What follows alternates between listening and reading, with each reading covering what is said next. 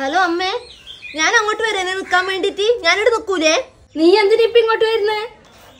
നിന്റെ ഇഷ്ടത്തിന് കല്യാണം കഴിച്ചാലേ പിന്നെ നീ എന്തിനാ ഇങ്ങോട്ട് വരാൻ നിക്കുന്നത് നിന്റെ താഴെ രണ്ടാൾ ഇനിയും ഉണ്ട്.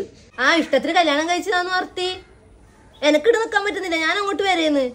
ആ ഞാനും മക്കളും വന്ന് നിൽക്കുന്നതിന് അമ്മയ്ക്ക് എന്താ പ്രശ്നം? ബാക്കിയെല്ലാം ഞാൻ അവിടെ വന്നിട്ട് പറയാം.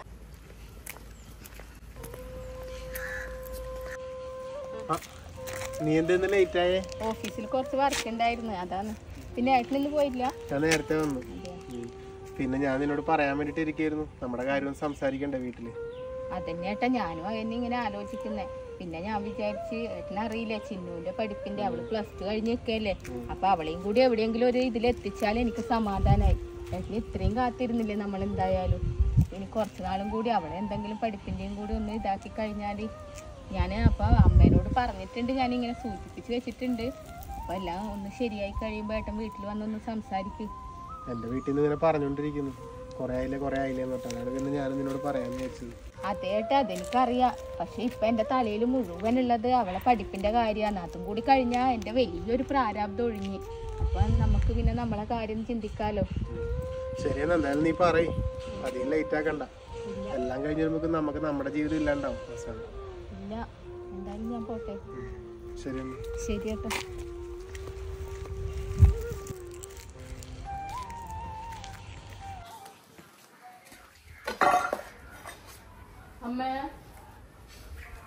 എന്നാ പിന്നെ എന്റെ ഇഷ്ടം പോലെ ആക്ക്. ആ ഞാൻ പറയേണ്ടത് പറഞ്ഞു. അമ്മ. ആ. ആരാന്ന് അത് നിന്റെ ചേച്ചി.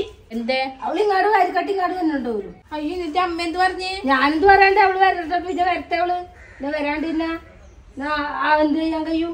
ഇപ്പൊ അമ്മയ്ക്ക് അറിയുന്നല്ലേ അമ്മ ഇവിടുത്തെ അവസ്ഥ? ഞാനൊരാളെ എന്താ ചെയ്യണ്ട ഇപ്പൊ തന്നെ ചിന്നുവിന്റെ പഠിപ്പിന് എത്ര പൈസ ആവശ്യമുണ്ട് നമുക്ക് അറിയില്ല. ഇനിയിപ്പൊ അവളും കൂടി വന്നാലോ? അവളും മക്കളെയും കാര്യം കൂടി ഞാൻ നോക്കട്ടെ. എന്റെ മോളെ അവളെ ഞാൻ പ്രസവിച്ച മോളല്ലേ? അവളെ ഇപ്പൊ എന്താ ചെയ്യാൻ കഴിയുവാ അവളെ നമുക്ക് ചാടാൻ പറ്റുവാ.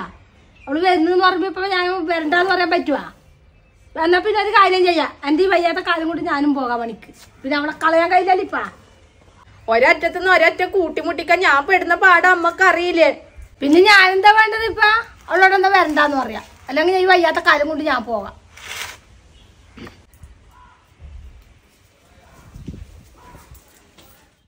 ഞാൻ എന്തായാലും ബി എസ് സി നേഴ്സിംഗ് തന്നെ എടുക്കുന്നേ. ആ ഞാൻ തീരുമാനിച്ചു. ഇല്ല ഗവൺമെന്റിലൊന്നും കിട്ടില്ല. പ്രൈവറ്റ് തന്നെ നോക്കണം. ഉം, അതൊന്നും കുഴപ്പമൊന്നുമില്ല. അതൊക്കെ ചേച്ചി നോക്കിക്കോളും. ആ ഇടയിൽ ഞാൻ വിളിക്കാം. ആ ഓക്കെ എന്നാൽ ആരാടി വിളിച്ചത്? കൂട്ടുകാരിയാ എന്തേ? പ്ലസ് ടു ഇനി തന്നെ എന്താ എടുക്കേണ്ടതെന്ന് ചോദിക്കാൻ വിളിച്ചതാ. നീ എന്ത് തീരുമാനിച്ചു?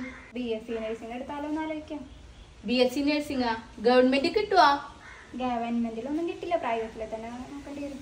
അപ്പൊ അതിന് ഒരുപാട് പൈസ ആവൂലേ പത്ത് ലക്ഷം രൂപ കാര്യം നടക്കും. പത്ത് ലക്ഷം ഉറുപ്പ്യ. നീ എന്തേ പറയുന്നത്? ഇവിടുത്തെ അവസ്ഥ ഒന്നും എനിക്കറിയില്ല ഞാൻ എങ്ങനെയാ ഇവിടെ കഴിഞ്ഞുകൂടുന്നേന്ന്?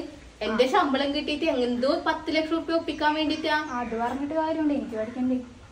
അങ്ങനെ വെച്ചാൽ ഞാൻ എന്താ ചെയ്യുക ചേച്ചിനെ പഠിപ്പിച്ച് ജോലി വാങ്ങിച്ചെന്ന അച്ഛനും അമ്മ അതൊന്നും പറഞ്ഞില്ലല്ലോ. ചേച്ചിക്ക് ജോലി വാങ്ങിച്ചെന്ന എന്നെയും കൂടി പഠിപ്പിക്കാനാ.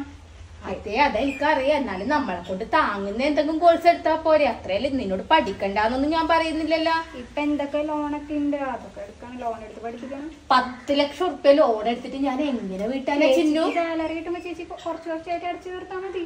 എന്റെ ഫ്രണ്ട്സ് എല്ലാവരും ബി എസ് സി നേഴ്സിംഗ് എടുക്കുന്നത് അതെ അവർക്കെല്ലാം ഉള്ളവരല്ലേ മോളെന്താ ഈ പറയുന്നത്? നമ്മളെ അവസ്ഥ മോക്ക് അറിയുന്നതല്ലേ. എന്തെങ്കിലും ചേച്ചി പറയുന്ന പോലെ മോൾ എന്തെങ്കിലും വേറെ കോഴ്സ് എടുത്തിട്ട് നമ്മളെ കൊണ്ട് താങ്ങാവുന്ന രീതിയിൽ പഠിച്ചാ പോരെ? ജോലി കിട്ടുന്ന എന്തോരം കോഴ്സുകൾ ഉണ്ട് വേറെ. ഞാൻ തീരുമാനിച്ചു കഴിഞ്ഞ. ചേച്ചി എനിക്ക് ബി എസ് സി നേഴ്സിംഗ് തന്നെ മതി. എല്ലാവരും അതന്നെ എടുക്കുന്നു. പിന്നെ ഞാൻ മാത്രം എന്താ? ചേച്ചിയുടെ ഉത്തരവാദിത്തമാണ് എന്നെ പഠിപ്പിക്കാന്നുള്ളത് എനിക്ക് പഠിച്ചേ പറ്റൂ. എന്റെ ദൈവമേ ഞാൻ എന്താ ചെയ്യുക? ഓരോ സൈഡിലൂടെ ഓരോന്നോരോന്ന് തീർത്ത് വരുന്നു. ഇപ്പോഴത്തെ സൈഡിലെ കൂടി അതിന്റെ ഇരട്ടിയാവേന്നു. ഞാനൊരാൾ ജോലിക്ക് പോയിട്ട് എന്തെല്ലാം ഈ ചെയ്യേണ്ടത്?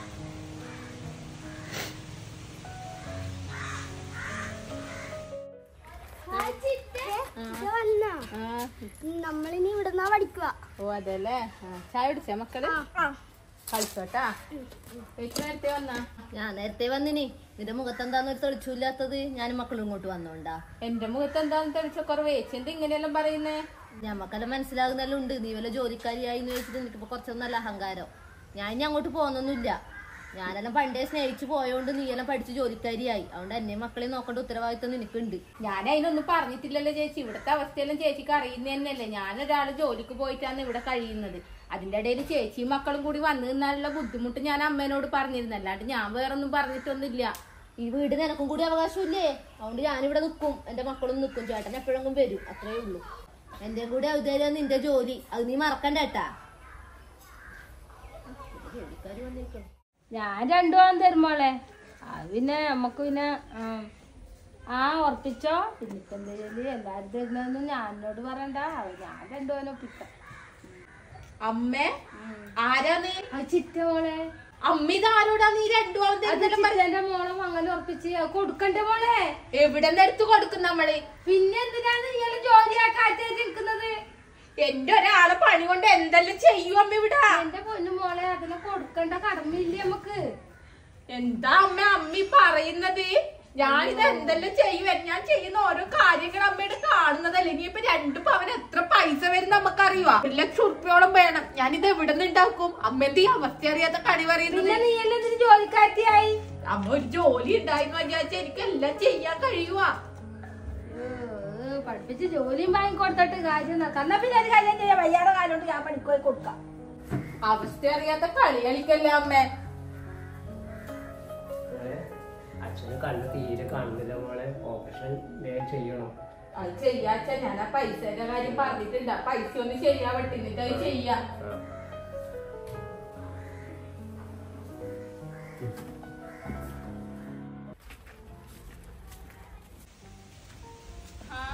അത്രയല്ല അവിടെ. ആ അച്ഛനുണ്ട് വാ കേറ്. മാമ കേറ്. ഇരിക്ക്. അച്ഛനൊന്ന് വിളിക്കേ. അച്ഛാ. അമ്മേ.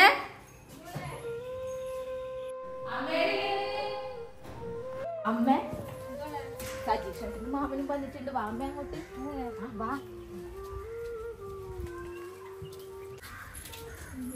നീ ഓടിത്തുള്ളി പൊന്നിട്ട് വന്നേ?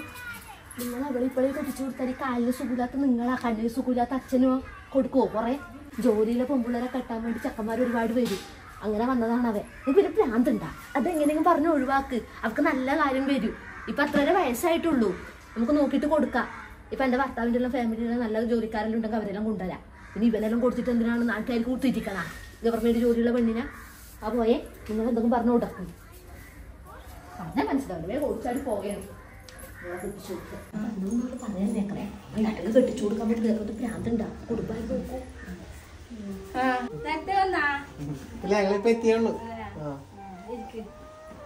ചേച്ചി നമ്മൾ വന്ന കാര്യം എന്താ വെച്ചാൽ പുലറമ്പിലുള്ള കാര്യങ്ങൾ നമുക്ക് എല്ലാവർക്കും അറിയുന്നല്ലേ അപ്പൊ ഒരു കാര്യത്തിൽ തീരുമാനങ്ങളൊക്കെ പഠിപ്പിച്ചിട്ട് പോകാന്ന് വെച്ചാണ് വന്നത്.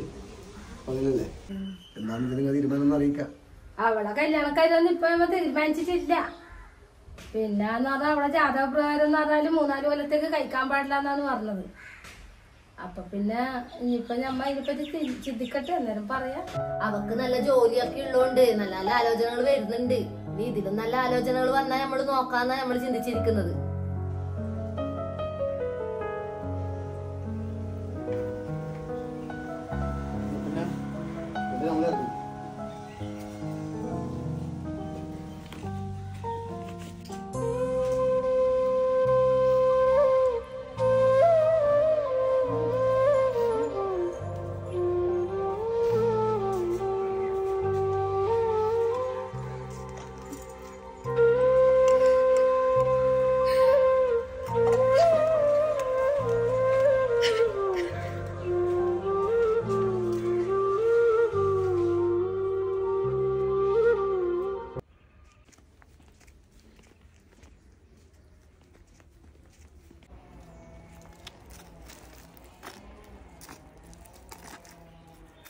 നിന്റെ തീരുമാനം അതറിയാൻ വേണ്ടി നിന്നായ ഞാൻ. എന്തായിട്ടാ പറയേണ്ടത്?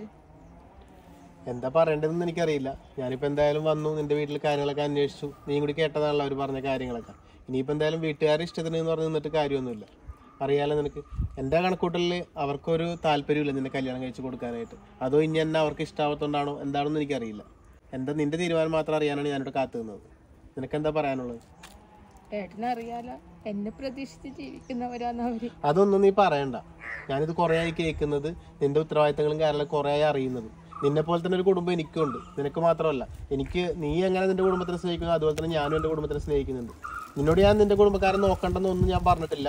നിനക്ക് എനിക്ക് ഒന്നേ നിന്നോട് പറയാനുള്ളൂ. നിനക്ക് ഇപ്പം എന്റെ ഒപ്പം വരാൻ പറ്റുമെങ്കിൽ വരാം. ഒന്നുകൊണ്ട് പേടിക്കണം നിന്നെ ഞാൻ പൊന്നുപോലെ നോക്കിക്കോളാം. നിന്റെ വീട്ടുകാരെ നോക്കണ്ടെന്ന് ഞാൻ പറയുന്നില്ല. അതല്ല നിനക്ക് നിന്റെ വീട്ടുകാരുടെ ഇഷ്ടത്തിന് നിന്റെ അവർ പറയുന്ന സ്ഥിതി നിൽക്കാനാണെന്നുണ്ടെങ്കിൽ നിനക്ക് അങ്ങനെ ആവാം ഞാനിപ്പോ ഏട്ടനോട് എന്താ പറയാ? ഏട്ടന് അറിയാലോ എന്റെ അവസ്ഥ. എന്നെ പ്രതീക്ഷിച്ച് ആ കുടുംബം പോകുന്നത്. അതിന്റെ ഇടയിൽ ഞാൻ ഇറങ്ങി വന്നാൽ അവരെ അവസ്ഥ എന്തായിരിക്കും? ഞാൻ പറഞ്ഞില്ലേ? അവരെ നോക്കണ്ടെന്നോ കാര്യങ്ങളൊന്നും ഞാൻ പറയുന്നില്ല. നിനക്ക് തീരുമാനിക്കാം. എനിക്ക് അതിൽ കൂടുതലൊന്നും പറയാനില്ല. ഏട്ടന് കുറച്ച് നാൾ കൂടി. നീ ഇനി കാത്തിരിക്കാൻ വേണ്ടി പറയേണ്ട കാര്യമില്ല. അവർ പറഞ്ഞത് ഞാനും കേട്ടതാണല്ലോ. ഒന്നിക്കൊന്നൊരാടെ നിനക്ക് ഉത്തരവാദിത്തങ്ങൾ കൂടി വന്നുകൊണ്ടിരിക്കുകയാണ്. ഒന്നിന് പുറകെ ഒന്നായിട്ട് ഉത്തരവാദിത്തങ്ങൾ കൂടെയല്ലാതെ ഒരു കുറവ് ഞാൻ കാണുന്നില്ല. പിന്നെ എത്ര ദിവസം ഞാൻ കാത്തിക്കണ്ടേ? എന്റെ വീട്ടിൽ നിന്നും പറയുന്നുണ്ട്. ഞാൻ പറഞ്ഞില്ലേ നിനക്ക് രണ്ടിലൊന്ന് ഇപ്പം തീരുമാനിക്കാം. നിനക്ക് എന്റെ ഒപ്പം വരാനാണെങ്കിൽ അങ്ങനെ ചെയ്യാം. അതല്ലെങ്കിൽ നമുക്ക് ഈ ബന്ധം ഞാൻ പറയണ്ടല്ലോ. എനിക്ക് എന്തായാലും എന്റെ വീട്ടുകാർ ഉപേക്ഷിച്ച് വരാൻ കഴിയില്ല കേട്ടോ അത്രയ്ക്ക് ഉത്തരവാദിത്തങ്ങളുണ്ട് എനിക്ക് അവരോട്. അവരെന്നെ പഠിപ്പിച്ച് ഒരു ജോലിയാക്കി തന്നിട്ടുണ്ടെങ്കിൽ അതിനുള്ള കടമ എനിക്ക് നിറവേറ്റണം അവരോട്. ചുരുക്കി പറയുന്നത് നമ്മൾ തമ്മിലുള്ള ബന്ധം ഇവിടെ അവസാനിപ്പിക്കാന്ന് നീ പറയുന്നതല്ലേ? അത് ഏട്ടൻ എന്ത് വേണമെങ്കിലും തീരുമാനിക്കാം.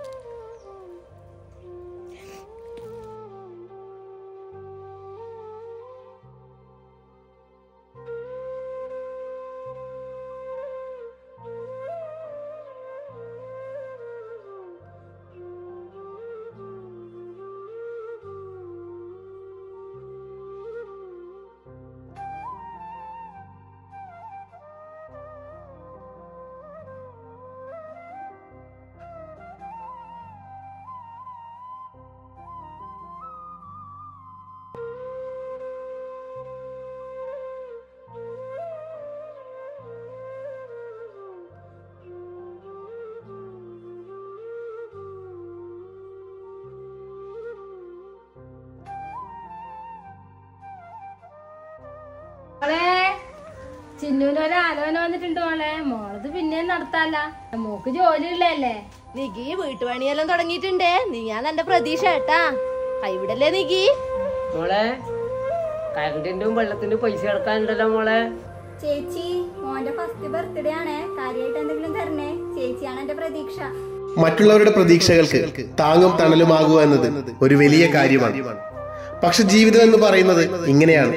കൊടുക്കുന്നവർ എപ്പോഴും കൊടുത്തുകൊണ്ടേയിരിക്കും. വാങ്ങുന്നവർ അത് വാങ്ങിക്കൊണ്ടേയിരിക്കും. സ്വന്തം കുടുംബത്തിന്റെ വെളിച്ചമായി സ്വയം ഒരു മെഴുകുതിരി പോലെ ഉരുകി ഉരുകി തീർന്ന ഒരുപാട് ജീവിതങ്ങളുണ്ട്. സ്വയം ജീവിക്കാൻ മറന്നുപോയവർ മറ്റുള്ളവർക്ക് വേണ്ടി ജീവിച്ച് ഒറ്റപ്പെട്ടു പോയവർ. ഒന്നോർക്കുക ജീവിതം അതൊന്നേ ഉള്ളൂ.